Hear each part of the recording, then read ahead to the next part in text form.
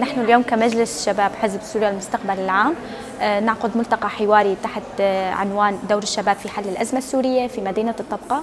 آه، تم حضور أكثر من 85 90 شاب وشابة من عدة مناطق من الطبقة رقة من بيج دير الزور من المنطقة الوسطى الحمص حما إدلب.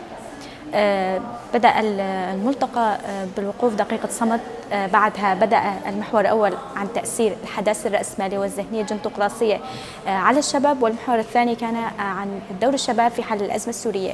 كان يوجد نقاشات عدة حول المحورين.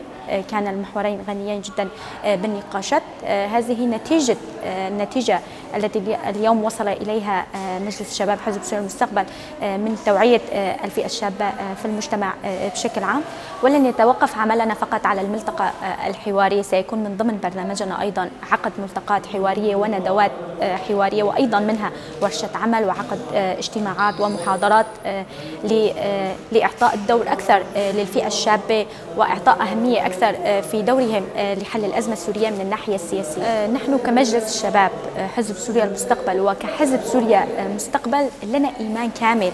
بدور الشباب خاصة من الناحية السياسية لنصل إلى حل لهذه الأزمة.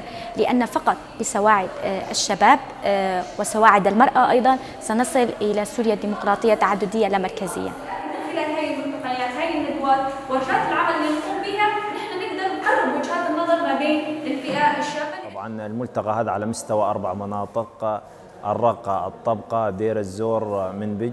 طبعا الملتقى هذا تحت الشعار دور الشباب في حل الأزمة السورية.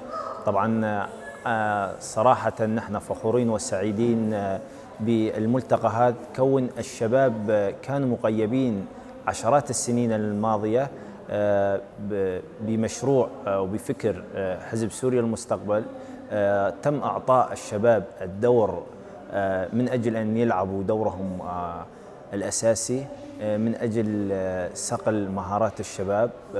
أعطاهم المساحة الآمنة للتعبير عن رأيهم على كافة المجالات سواء على المجال الاقتصادي المجال السياسي المجال الأمني. وفي نهاية الملتقى توافق جميع الشباب على المخرجات والتوصيات التالية. واحد محاربة كافة المفاهيم والذهنيات التي تحد من دور الشباب في بناء وتطوير المجتمع. اثنين دعم الانتفاضة الشعبية في السويداء التي يقودها الشباب.